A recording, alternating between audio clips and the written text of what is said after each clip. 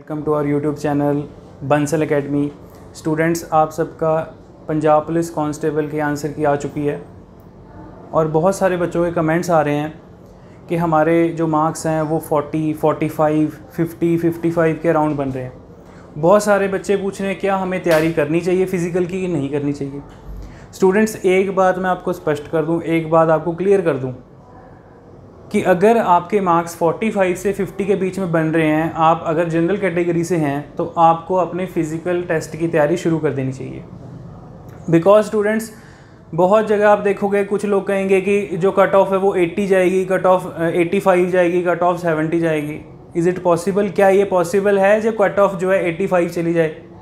Cut off 80 चली जाए। Students आपको याद हो तो जब पटवारी का एग्ज़ाम हुआ था, बहुत सारे लोगों ने कहा था कि कट ऑफ़ जो है वो 85 प्लस जाएगी। कितनी गई कट ऑफ़ आप सबने देखा? आप सब लोग इतना ज़्यादा यूट्यूब पर इन चीज़ों को जब सर्च करते हो तो आप इतनी डिफरेंट डिफरेंट कैटेगरीज़ में फंसी जा, फंस जाते हो। स्टूडेंट्स आपने लोगों की बातों पे गौर नहीं करना है। आपने अपनी फ़िज़िकल एफिशिएंसी की तैयारी स्टार्ट कर देनी है। ऐसा ना हो कि जब रिज़ल्ट आए और लिस्ट में आपका नाम हो और उस टाइम पे आप फ़िज़िकल की तैयारी के बारे में सोचो, उस टाइम पे आप इस चीज़ को लेके डीमोटिवेट हो जाओगे कि अब मैं कैसे तैयारी करूँगा। तो स्टूडेंट्स इससे बढ़िया ये है कि उस टाइम पे तैयारी करने से अच्छा है कि आप फ़िज़िकल की तैयारी अभी से स्टार्ट कर दीजिए। और सबसे इंपॉर्टेंट पॉइंट आपको ये चीज़ समझनी चाहिए कि बहुत सारे ऐसे बच्चे होंगे जिन्होंने सिर्फ़ एग्ज़ाम ये देने के लिए दिया होगा कि उनके कितने मार्क्स आ रहे हैं इस पेपर को देके उनकी तैयारी किसी और पेपर की होती है। बहुत सारे ऐसे बच्चे होंगे जो मेंटली बहुत स्ट्रांग होते हैं, जिनके अच्छा स्कोर आता है, लेकिन वहाँ पर उनकी रेस नहीं लगती। तो आप ये देखिए कि बहुत सारे ऐसे बच्चे भी होंगे जो रेस में से भी बाहर होंगे, जो फ़िज़िकल एफिशिएंसी टेस्ट में से आउट होंगे। आई होप आपको मेरी बात समझ में आ रही होगी। तो आप इस बात को ध्यान से समझिए कि अगर आपके 45 से 50 के बीच में अगर मार्क्स बन रहे हैं तो आपको अपनी फ़िज़िकल की प्रिपरेशन करनी स्टार्ट कर देनी चाहिए। सेकेंड थिंग स्टूडेंट्स बहुत सारे बच्चों के क्वेश्चन ये हैं कमेंट्स आ रहे हैं कि हमें ऑब्जेक्शन डालनी चाहिए।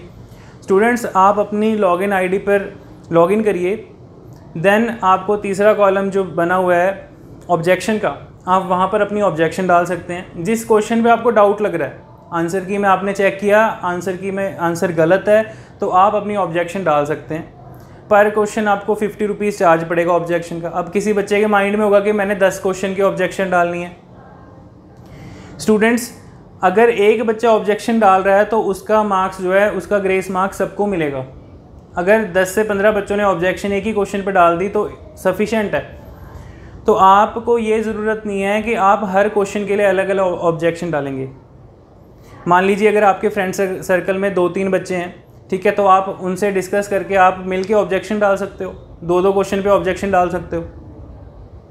तो अभी भी किसी को अगर ये लगता है कि मुझे प्रिपरेशन करनी चाहिए, मुझे फ़िज़िकल की तैयारी करनी चाहिए, मेरे तो 45 मार्क्स बन रहे हैं, मेरे तो 50 मार्क्स बन रहे हैं, इन बातों का कोई फ़ायदा नहीं है। जब रिज़ल्ट आ गया, जब लिस्ट आ गई तो लिस्ट में आपका नाम होगा तो उस टाइम पे आप तैयारी करनी शुरू करोगे, उस टाइम पे कोई फ़ायदा नहीं रह जाएगा। उस टाइम पे नहीं रेस लगेगी, उस टाइम पे नहीं आपसे फ़िज़िकल और वो लॉन्ग जंप हाई जंप हो पाएगा। तो स्टूडेंट्स सबसे बेस्ट है कि आप इधर उधर भटकने से अच्छा है। इस अपने आप पर यकीन रखिए ठीक है? अपने आप पर विश्वास रखिए कि अगर मेरे 45, 50, 55 के अराउंड मार्क्स हैं तो मुझे तैयारी करनी चाहिए। बहुत सारे बच्चों के मन में डाउट है कि हम तैयारी करें ना करें तैयारी करें ना करें। इन सब बातों का बाद में कोई अर्थ नहीं रह जाएगा। आई होप आपको मेरी बात समझ में आ रही होगी।